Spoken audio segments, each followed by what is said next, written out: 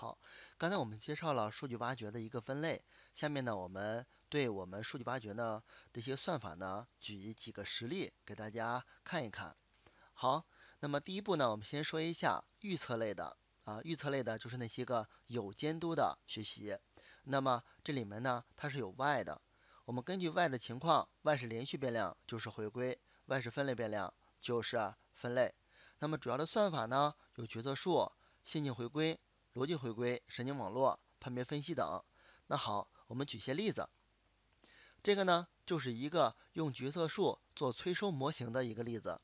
呃，其实呢，呃，催收催收模型呢，它并不是需要预测有多精确，啊，其实它只是需要一个针对不同的客户的类型进行一个制定催收策略的这样一个呃方法就行了。那我们可以看一下，根据不同的客户的情况，比如说同样是逾期的，我们看它逾期多少天数，对吧？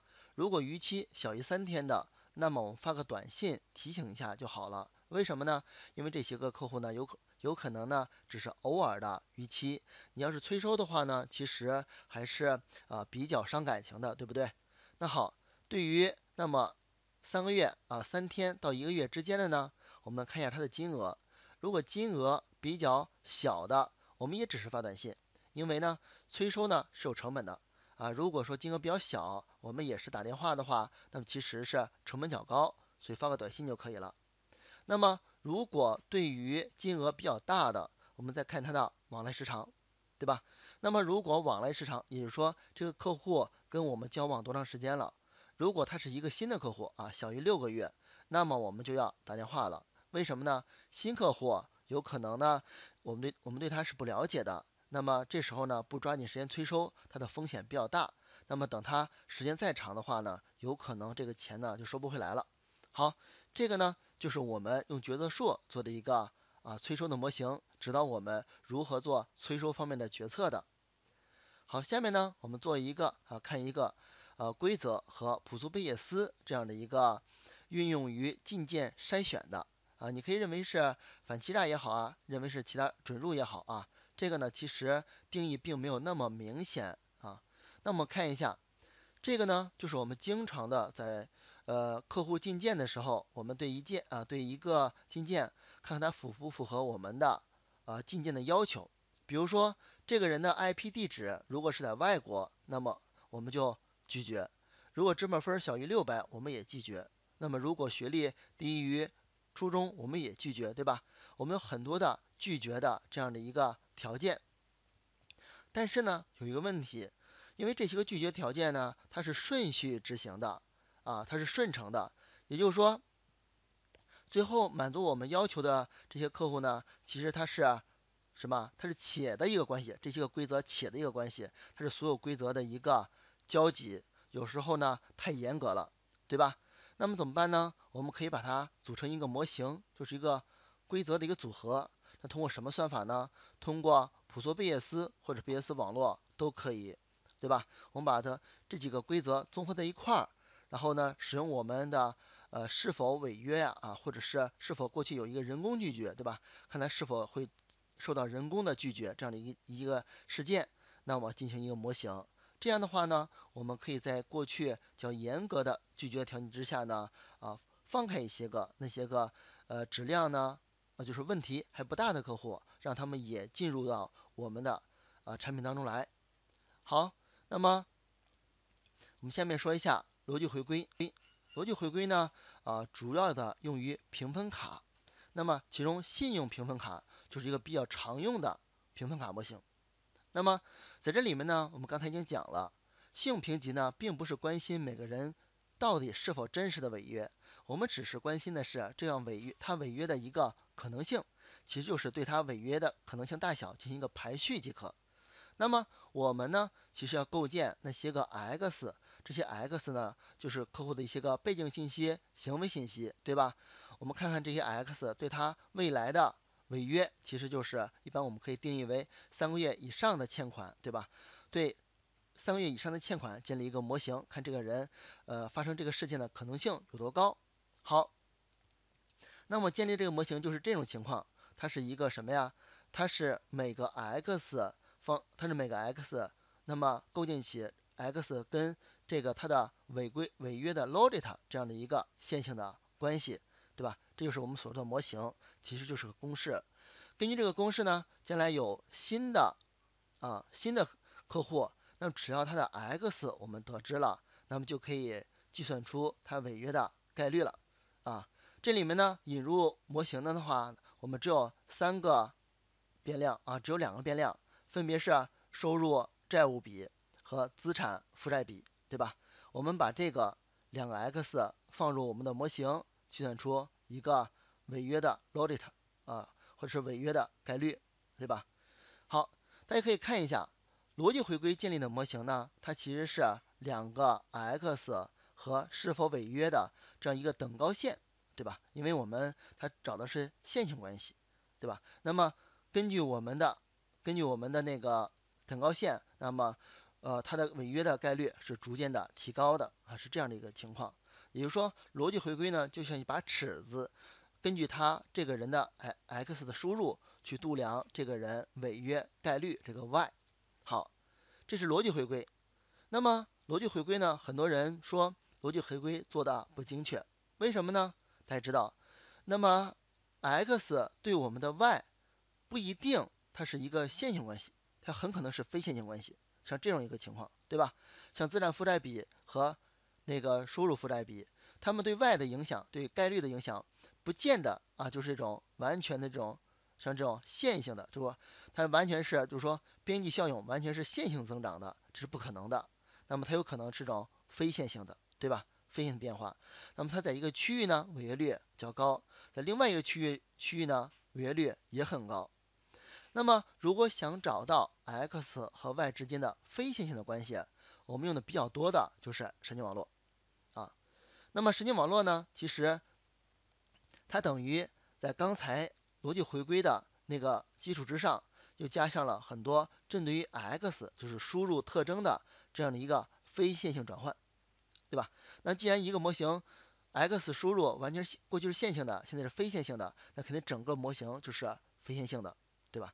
那么神经网络呢，更多的用于欺诈反欺诈模型，那么是信用评级呢，用的并不多。那么它一般情况下呢，是作为信用评级的金模型来使用。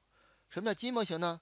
就是我们拿到一个数据，先把 x 和 y 都抛进去，看看到底这个模型最优的表现是什么。也就是说，这个模型应该是逻辑回归所能得到的效果的上限，对吧？然后我们看一看这个数据集最优的模型是什么样一个效果，然后呢，我们再用逻辑回归去逼近这样一个效果啊就可以了。好，下面我们讲一下知识向量机。刚才我们所说的神经网络，啊，它在算法当中呢，它的那种分割其实有时候是很随机的啊。那么这是之所以为什么这样，我现在就解先不解释，等我们在学习的时候再说啊。那么数学数学科学家呢已经证明，那么最优的分割是通过知识向量机是可以获取的。那么为什么知识向量机能够获取最优的分割呢？首先，第一，那么它是在求解两个分类当中的最大的分割距离。那么这是一个线性分割。如果是个非线性分割呢，它会对非线性特征进行一个转换，对吧？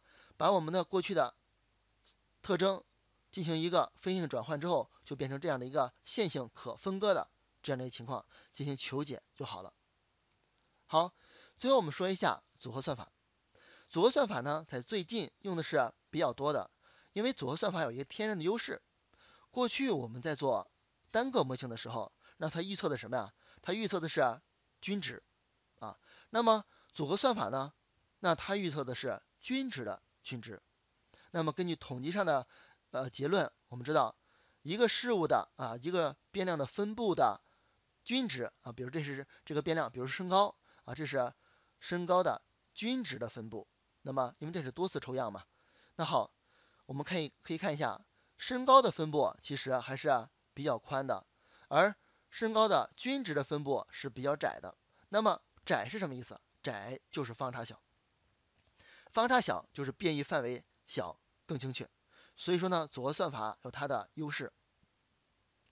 组合算法呢有两大类，一个是装代法，装代法的代表算法就是随机森林。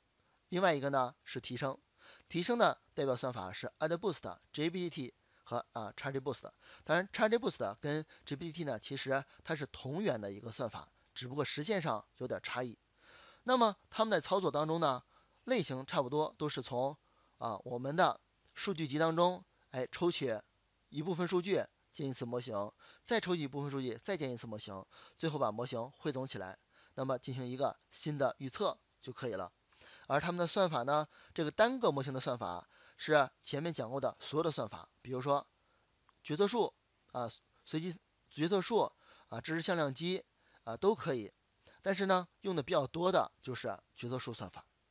好，那么讲完了分预测类模型，下面我们讲一下聚类啊。那么聚类呢，我们举一个例子就可以了。那么这个呢是一个对于信用卡客户进行细分的这样一个例子。那么信用卡客户我们关心的什么呢？我们关心的一个一个是呢它的交易的粘性，就这客户对我们的依赖性。那么我们以交易次数为代表。另外一个呢就是客户的价值。那么信用卡嘛，信用卡挣什么钱呀？挣的是客户的手续费，还有一个是挣客户的分期利率啊，分期利息。那么我们以循环次数来代表，为什么呢？循环次数越多，这个客户呢，比如这个表示的是零，代表的是借钱当月即还；一呢是代表的是第一个月，因为大家都知道，呃，信用卡刷卡它是有一个一个月的宽限期的，宽限期之后呢就会收取利息，对吧？那么为二的话呢，就是说这这些客户呢贡献的利息还是蛮多的，而达到四和五的时候，比如四达到四个月的时候，那他已经收了。多少？已经收了三个月的利息了。那达到五呢？啊，达到五就是呃比较危险了，因为如果五个月再不还的话，有可能这钱就还不上了，对吧？好，那么以这个轴代表的是它的价值，对吧？贡献的利息，这个呢代表它的粘性啊。当然了，代表它的手续费，对吧？因为次数越高啊，手续费是越多的，因为手续费是按次来算的。好，我们可以看一下，根据这两个变量，我们把我们的客户呢做了一个。